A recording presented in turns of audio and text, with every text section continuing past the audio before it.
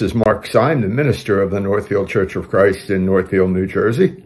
And these are the evening services for uh, Sunday, January the 30th. Uh, because of our abundant snowfall, these are the only Sunday services for the 30th of January. So uh, hopefully for some of you, this is your Sunday worship service. We will be singing a few songs and observing the Lord's Supper, and uh, we will uh, hopefully present a lesson to you that's uh, enlightening, beneficial, and that you can uh, take with you this evening. And so from Songs of Faith and Praise, if you would turn your books to number 457, 457.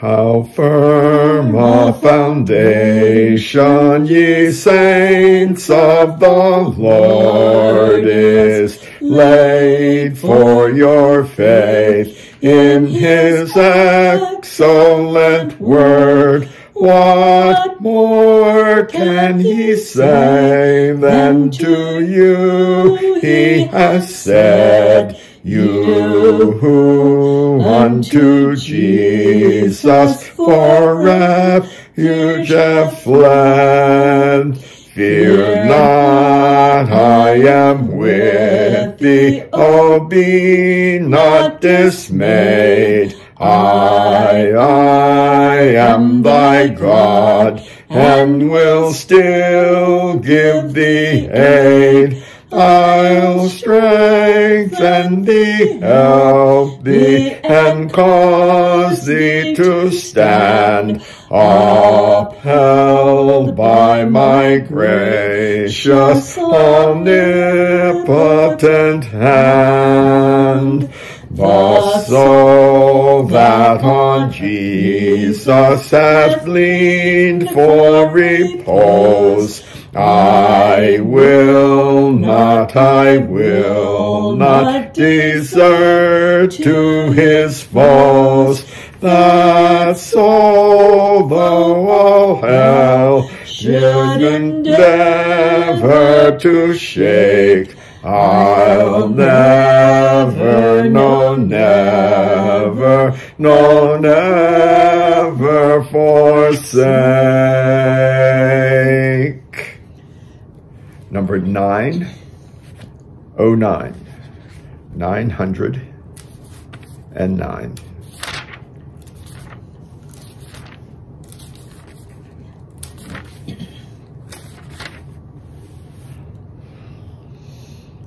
Let's sing verses one and three of this song. One and three.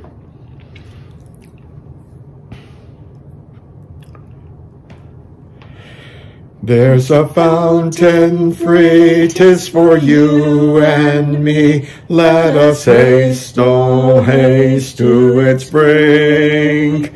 Tis the fount of love from the source above, and he bids us all freely drink. Will you? Will you come to the fountain free? Will you come? Will you come? Tis for you and me. Thirsty soul. Thirsty soul, hear the welcome call. Tis a fountain open for all. There's a rock that's cleft and no soul is left that may not its pure water share. Tis for you and me, and its stream I see. Let us hasten joyfully there. Will you come? Will you come to the fountain free? Will you come? Will you come? Tis for you and me. Thirsty soul. Thirsty soul, hear the welcome call. Tis a fountain open for all. And before the Lord's Supper, uh, let's turn to number 366.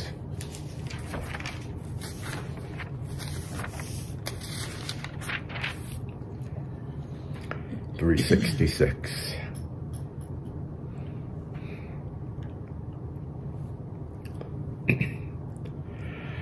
By Christ redeemed and Christ restored,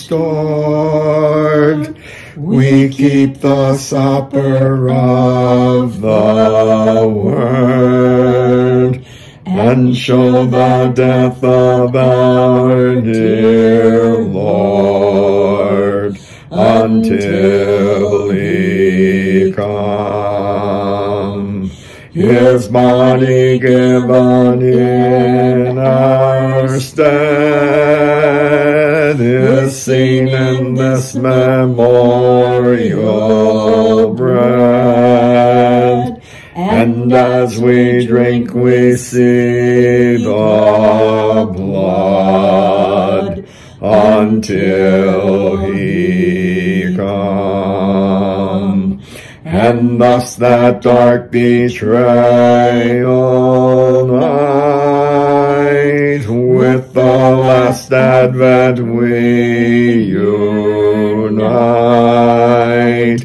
by one bright chain of loving pride until he come. One of the reasons that we gather together on the first day of the week, and we gather for uh, many reasons, but one of the reasons is that uh, we've been instructed to break bread together, and that is to commemorate uh, the Lord's Supper uh, as it was done 2,000 years ago, that was instituted by Jesus himself, that was uh, repeated and reiterated by the Apostle Paul in uh, 1 Corinthians chapter 11. And we know that uh, uh, when they sat around the table, uh, Jesus explained some things to his disciples, and thus he explained them to us. He explained to them that he was to die and he was to leave them. And uh, as we think about that, uh, 2,000 years later, we know that this indeed did happen. And so on the first day of the week, we commemorate uh, that glorious part of your plan that you sent Jesus to us in human form, that he was susceptible to all things that humans are susceptible to. And he was indeed susceptible to the pain and the agony and even the mental anguish uh, that he suffered uh, by dying. But in his dying, he was the perfect sacrifice. He was the sacrifice one time for all. And uh, it is that sacrifice that we are thinking of right now. And so when we think that uh, being Christians is difficult sometime, think of what Jesus went through as he sacrificed himself for us. Uh, let's pray over the bread. With this bread, dear Heavenly Father, we uh, uh, just think about your body as it hung in pain on that cruel cross. Uh, we know that uh, you sacrificed uh, your body that we might live, that you gave uh, yourself up so that uh, that sacrifice may be lasting, that through that sacrifice that we would have the opportunity for eternal life. As we partake of this bread, let's think of your son's broken body. We pray this in his most holy name. Amen.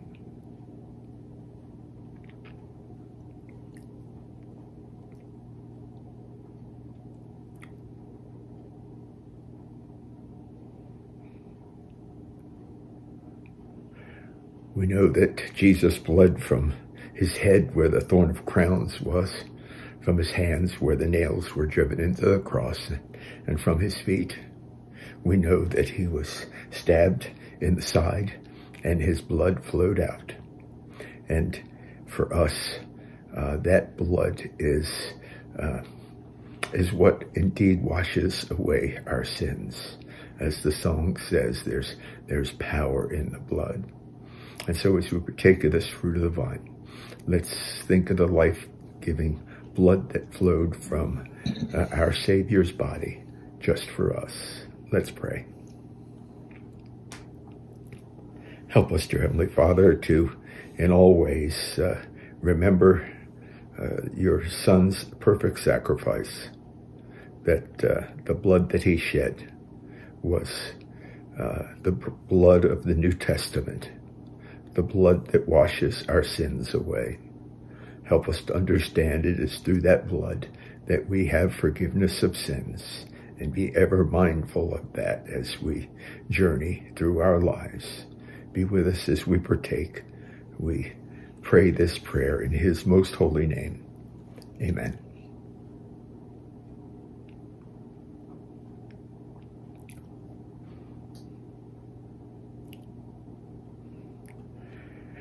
And also on the first day of the week, we are uh, uh, required to lay by and store that with which we have been blessed, with the knowledge that all good things come from the Lord, with the knowledge that when we pass from this life to the next, that nothing that we have here physically will remain, that um, it is an ashes to ashes and dust to dust.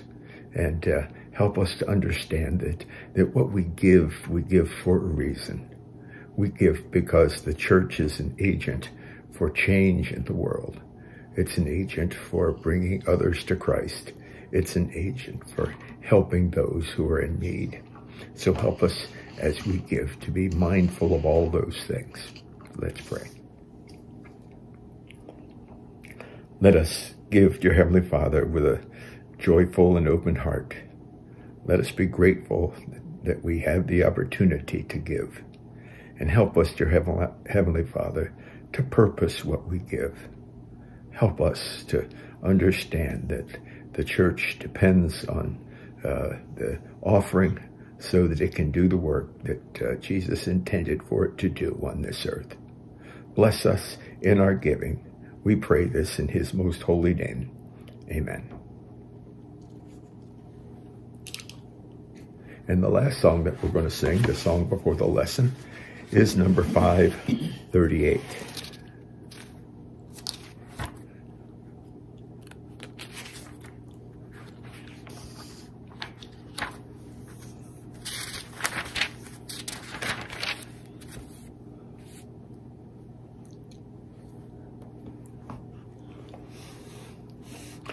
We'll sing verses 1 and 2. Verses 1 and 2.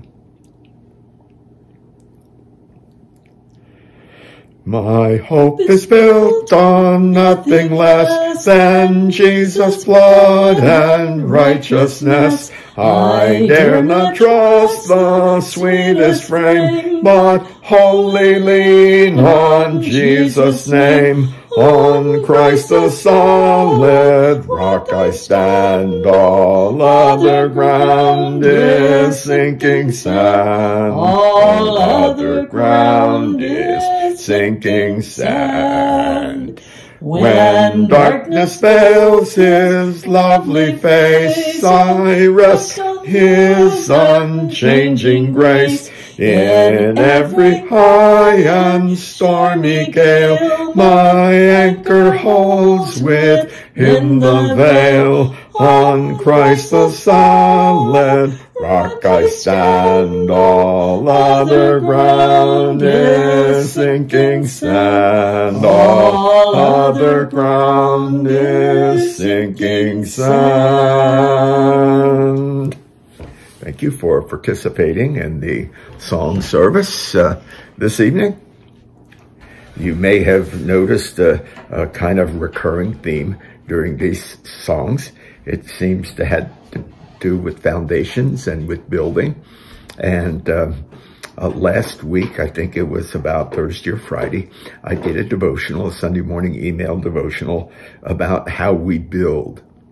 And so I would like to expand that into a lesson this evening that I hope will be uh, beneficial to each one of us.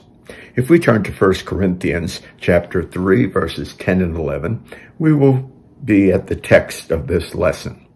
1 Corinthians chapter 3, verses 10 through 11. According to the grace of God which is given to me, like a wise master builder, I laid a foundation, and another is building on it. But each man must be careful how he builds on it. For no man can lay a foundation other than the one which is laid, which is Christ Jesus.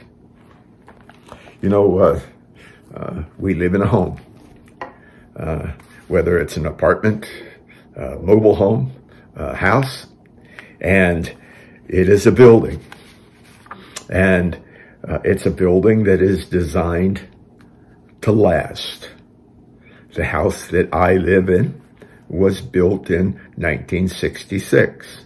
So if you count the years, uh, you can uh, see how old our building is. Since then, we have made renovations to our uh, our building, our home. We've changed the garage into a living room. We've added a room out in the back and a foyer. Uh, we've done all these things to make our building look good and feel good and be beneficial to each one of us.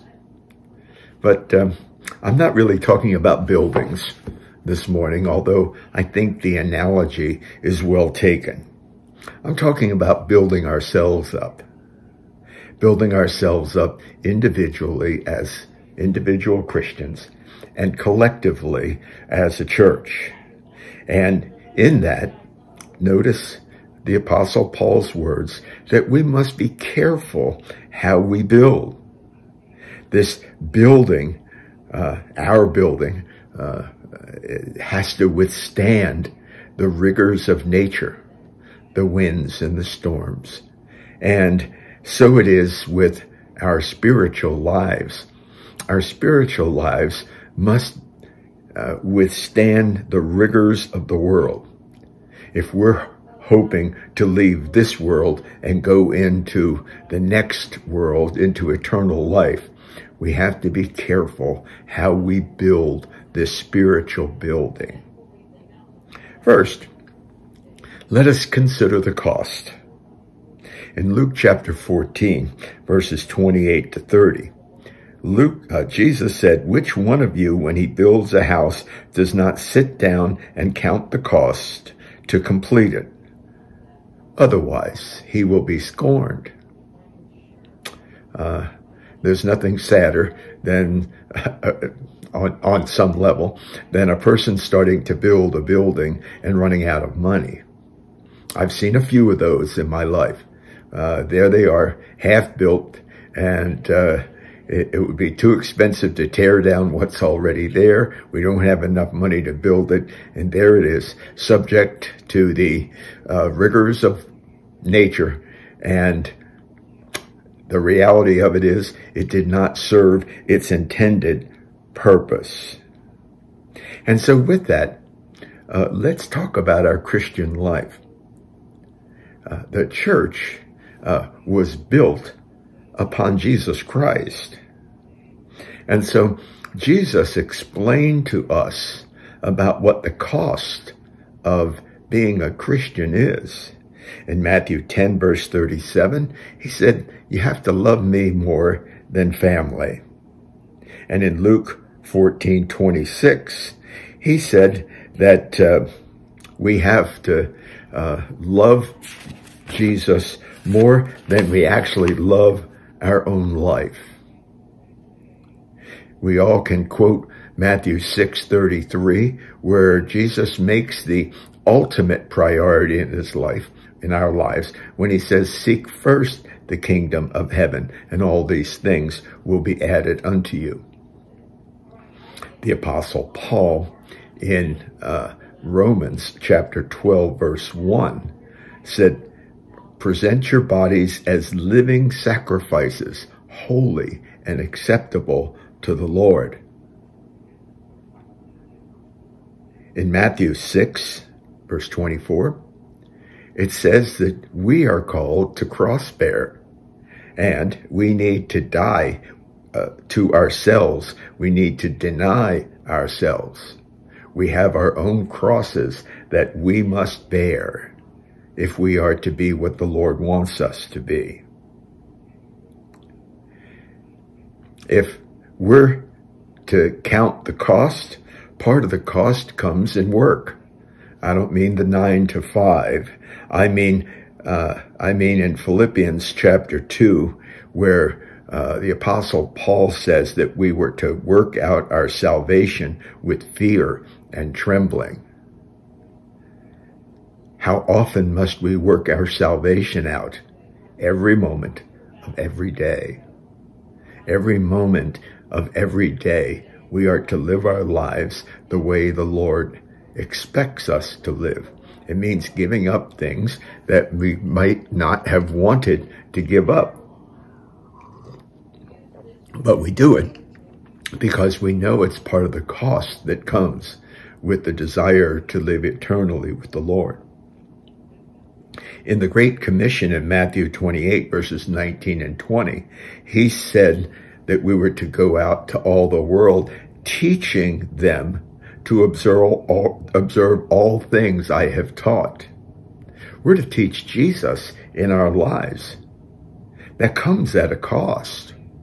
You can't teach something that you don't know.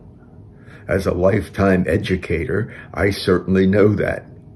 You could never go into a class in front of 25 or 30 students cold, not knowing what you were going to talk about and how you were going to try to teach the things that you wanted to teach. It took sacrifice. It took time. It took time to construct a lesson by which you would get what you wanted across. And we're all called to be teachers. And finally, and this is the last thing on my list of cost, and that is that uh, it costs us every Sunday morning, doesn't it? Now, uh, on our ways to church, uh, very often we pass the golf courses and see people at the golf courses. We know that there are people that are laying on the beaches in the summertime. Uh, we know that there are folks uh, out uh, having a leisurely breakfast at their favorite breakfast place. And it's not that we can't do these things, but not when the Lord calls us to worship.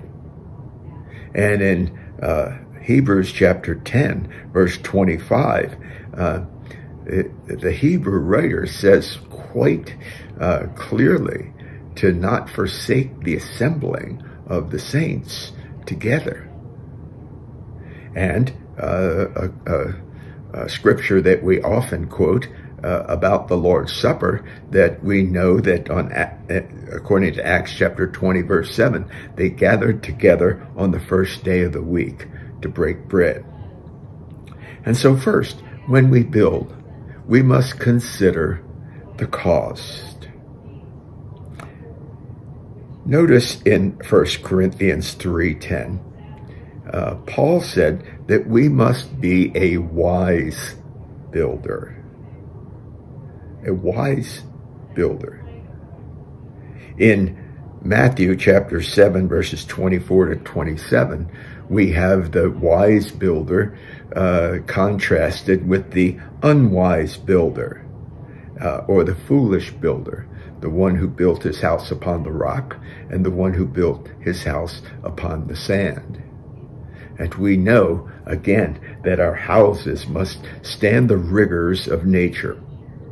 And by that same token, a, wise builder understands that we are to buttress ourselves in the Word of God and in the teachings of Jesus so that we will be wise, that our buildings, our self, our physical and spiritual persona have been built in a wise manner that Paul talked about in 1 Corinthians 3.10, that we are indeed a wise builder. Third, we need to follow a wise plan. You know, in all my days of teaching, every week we were to turn in what we call lesson plans. And in those lesson plans, we were to outline what we were going to teach each day and what the objectives were of uh, each of those lessons. In the actual building process, when we build buildings, we call these plans blueprints. Well, you know what? Our Bibles are, are our blueprint. We are to build our spiritual lives upon the Word of God. Very, very clearly, when uh, the Apostle Paul wrote this to his protege Timothy in 2 Timothy chapter 3, verses 15 to 17, he uh, explained how important the Word of God is and was. That what it did, it was for rebuke and reproof so, so that all may know the truth. We, we need to know what's in our Bibles. When we read our Bibles, you know, according to the first Psalm, it, it says, I delight in the law of the Lord, and on this law do I meditate day and night. You ever wonder why uh, some of these people on the quiz show Jeopardy answer so many questions? They've done a lot of reading. This stuff did not come into their heads by osmosis. It came into their heads because they did massive amount of reading and were able to retain that which they read. And so scripture is the only thing for us to follow if we are to follow a wise plan. And you know what? Uh, there is a penalty involved if we don't know the plan. There's a penalty for making any change in this plan. According to Galatians chapter 1, verse 8 and 9, it says, No matter who preaches to you, if it is contrary to the gospel, let him be accursed. Our Bibles are our source book. They are the Holy Spirit inspired words that have been written for us to guide our lives. Next, we need to build on a good foundation, a stable foundation. Remember in, in 1 Corinthians chapter 3 and verse 11, he says, For no man can lay a foundation other than the one which is laid, which is Jesus Christ. The foundation of our life is our belief in Jesus Christ. We, we can't skirt that issue that issue is of the utmost importance to us when we think of how we build our lives. Uh, the, the stability of our building obviously depends on the foundation with Jesus as the only one that we are to build upon when it comes to spiritual matters. You know, if I want to learn how to hit a baseball, I don't need to go to the Bible. All right. Uh, if, if I want to learn how to bake a cake or cook something, I don't have to go to the Bible. But when it comes to the matters of right and wrong in this world, of what things are acceptable to the Lord and what things are unacceptable to the Lord, we only have one source, and that source is the Word of God. And you know what? Um, in uh, Ephesians chapter 2 and verse 20, it tells us that Jesus is the cornerstone of the church. All right? And so when we talk about the foundation which is laid, that is Jesus Christ. It is Jesus as the cornerstone, both of the church and the cornerstone of our life. You know, builders uh, very often make bids on uh, things uh, if they are going to build homes or additions to homes. And uh, uh, the, the bids that they put in are based upon several things. They're based upon the manpower that they have, and they are based upon um, the hours that it will take. And then last but not least, they are based upon the materials that are used.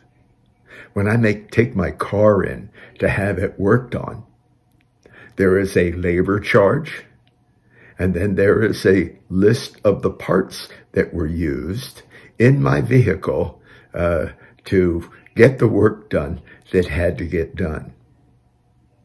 And we need to use the best of materials. We can't put fleshly materials into a spiritual body. In Galatians chapter 5, verses 19 to 21, deeds of the flesh are evident. If you want to see those, there are nine or 10 or 11 of these deeds of the flesh. And uh, Paul lists immorality, impurity, idolatry, sorcery, dissension, factions. There are more. And he says, these aren't the things that you are supposed to be involved in when you build up your spiritual body.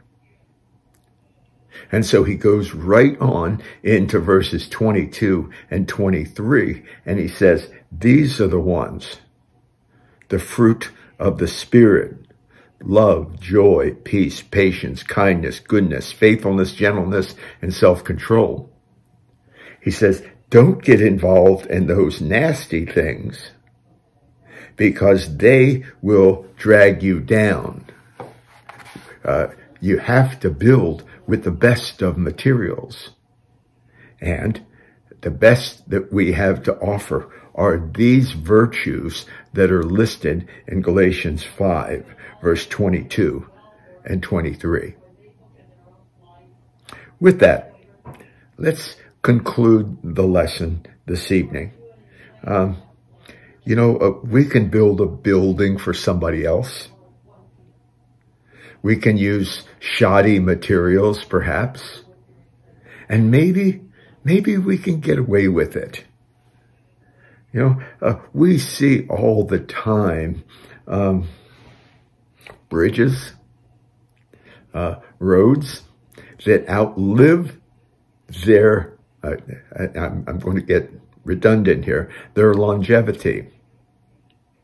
If, if there is a bridge over salt water and the salt water keeps going by the material that the bridge is made out of, that's part of the bridge that's down in the water is going to be subject to that. And with that, we need to understand that we have to use the best of materials. We see buildings, roads getting rebuilt all the time because there is a longevity to them. But in our building, in our spiritual building, nothing can be hidden. We can't hide it underwater. We can't hide it in the walls of the house. We can't use an interior, a, a, shoddy material, and then cover it with something, with some veneer, and make it look really, really good. It just, it just won't work. Many years ago, um, uh, I have always been a baseball fan, but uh, as a young person, uh, I went to uh, this uh, store and uh, they were selling baseballs very cheap. Uh, now, I have to take you back into the 50s, and there was this beautiful white baseball, and they wanted 79 cents for the baseball, which was a fairly good sum back then. But I thought, man, the use I'm going to get out of this baseball for just 79 cents is just going to be amazing. So we, uh, me and my best friend, we took the ball out and we threw it around a little bit, but then the proof came in the pudding and uh, got a bat out and he threw the ball to me and the ball made an odd sound when I hit it. And when we retrieved the ball, it was lopsided. Baseballs don't do that. Baseballs are a small piece of rubber wrapped with twine very tightly and with a horsehide uh, outer covering on them that's also very tight, not designed to get lopsided. Well, after we whacked it around a little while, the strings came loose and finally we realized that this was a useless baseball. We tore it apart and in it was newspaper. This was in the early 50s when things made in Japan were inferior things, not as the superior things that they are today. I, when I pulled the newspaper out, it was Japanese print. You see, they thought they could hide something from somebody by selling it cheaply. And what you got was something cheap. In our lives, nothing can be hidden. Cain couldn't hide from the Lord. Adam couldn't hide from the Lord. In Proverbs chapter 15, verse 3, it says, The eyes of the Lord are everywhere. And in Hebrews chapter 4, verse 13, it said, And there is no creature hidden from his sight, and all things are open and laid bare to the eyes of the Lord. Let's remember, we need to build up our spiritual body and we need to take heed how we build. We need to just count the cost. We need to use uh, the best of materials. We need to use the proper guidelines. We need to build on a good foundation. We need to follow a wise plan. Only then will our spiritual lives be what they're supposed to be. If you haven't come to the Lord as yet, we offer the invitation to you that uh, you need to get into God through Jesus Christ by confessing Jesus as the Son of God, repenting of your former ways, and being baptized for the remission of your sins. If you need that, uh, I don't think we'll be able to get out to you this evening, but we will be there at your beck and call as soon as we possibly can. If you need to confess your sins one to another, we are there uh, to be that person that you can confess to, and you can always confess those sins to the Lord. If you are subject to the imitation of Jesus Christ uh, and need to respond, uh, this would be the time. Let's pray together as we close. Our God and Heavenly Father, we're so grateful for the time that we've had together this evening. Bless us in our study. Help us as we look at this lesson to understand that we are a spiritual building. And it is our hope that we will leave this life here on earth as physical creatures and, and live with you eternally as spiritual beings. But we know we'll only do that if we live our lives the way you want us to live them. Help us, dear Heavenly Father, to live godly lives. Help us to take your word as our guide, as the lamp to our way. Bless us this evening. Help us to uh, uh, help us to uh, be comforted by uh, your goodness and help us to be of comfort to others. Bless us and be with us. I pray this prayer in Jesus' most holy name. Amen. Please be safe. May God bless you all. Amazing grace, how sweet the sound that saved.